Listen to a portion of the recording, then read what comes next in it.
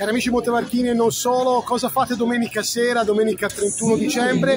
Beh, dopo il cenone di fine anno vi aspettiamo in Piazza Varchi, come potete vedere già iniziano i preparativi per festeggiare la fine del 2023 e salutare l'arrivo del 2024.